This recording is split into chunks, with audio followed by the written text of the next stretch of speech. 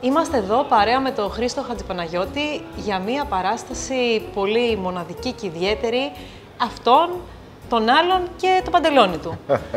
λοιπόν, για πες μας, Ε, τώρα κοίταξε, Χρήστο. αν είναι μοναδική και ιδιαίτερη θα μου το πεις το βράδυ μετά την Έτσι, παράσταση. η αλήθεια είναι αυτή.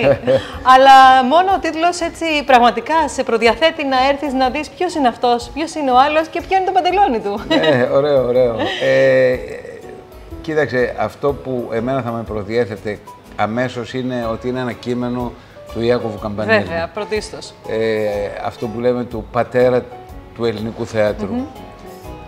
Το λέμε και είναι πραγματικό της, ε, γιατί όσο καιρό δούλευα αυτά τα κείμενα, με το πρώτο, είναι δύο μονόλογοι, δύο κείμενα, δύο μονόπρακτα. Είναι αυτός και το παντελόνι του, που το έκανα για πρώτη φορά με τον Μάνο τον Καρατζογιάννη στο Θέατρο Σταθμός πριν από τέσσερα χρόνια, ένα Μάιο για 20 παραστάσεις. Ε, είχε πολύ μεγάλη επιτυχία.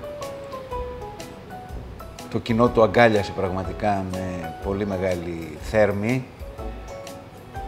Εκεί κατάλαβα, δεν είχα ξαναδουλέψει καμπανέλη.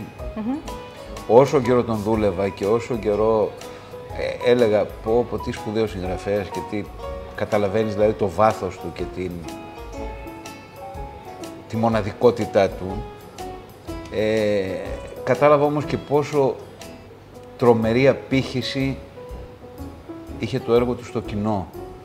Ε, και ήταν, πολύ, πολύ, ήταν τρομερό, τρομερή εμπειρία, γιατί είναι ένα- ήταν ένα παλιό κείμενο και αναρωτιόμουν όσο το δούλευα. Άραγε, αυτό θα ακουμπήσει το σύγχρονο θεατή. Ε, είναι τρομερό πώς το αίσθημα του Καμπανέλη είναι τόσο δυνατό που ο κόσμος πραγματικά ήταν ενθουσιασμένος. Σκέφτηκα λοιπόν με τον Μάνο τον Καραζογιάννη να κάνουμε άλλο ένα μονόπρακτο, ώστε να μπορέσουμε να κάνουμε μια παράσταση πιο ολοκληρωμένη και να μπορέσουμε να την ταξιδέψουμε και σε διάφορα μέρη της Ελλάδας και να περάσουμε το καλοκαίρι μας με τον Ιάκωβο Καμπανέλη. το άλλο μονόπρακτο λέγεται Επικίδιος. Είναι ένα πραγματικά σπαρταριστό, ε, πάρα πολύ αστείο μονόπρακτο. Ε, μια σάτυρα που σπάει κόκαλα. Ε, μια σάτυρα πάνω στη ματαιοδοξία της ανθρώπινης φύσης. Είμαστε πολύ ματαιόδοξοι εμείς οι άνθρωποι. Ισχύει αυτό. ναι. Και έτσι μπήκαμε στην, ε, στην περιπέτεια αυτού του ταξιδιού του καλοκαιρινού φέτος. Πες μας λίγο, έτσι, ε, με τι έχει να κάνει περισσότερο όλο, αυ- όλη αυτή η παράσταση, έτσι, Κοίταξε, τι, ο, με τι καταπιάνεται; ο Καμπανές καταπιάνεται με τη μοναξιά, την ανθρώπινη μοναξιά. Το κέντρο του σε όλα τα πράγματα είναι ο άνθρωπος, η ψυχή του ανθρώπου και η συμπεριφορά του ανθρώπου. Ε, ήδη, γιατί αυτή είναι η τρίτη παράσταση που παίζουμε, οι δύο πρώτες παραστάσεις ήταν πραγματικά παραπάνω από ενθουσιαστικές. Είναι δύσκολο για έναν ηθοποιό ε, να είναι τόσο εκτεθειμένος πάνω στη σκηνή. Εσύ τι πιστεύεις; Γιατί ένας μονόλογος ε, έχει να κάνει με μια τεράστια έκθεση. Είσαι μόνος σου. Ε. Δεν, δεν, δεν υπάρχει περιθώριο λάθους.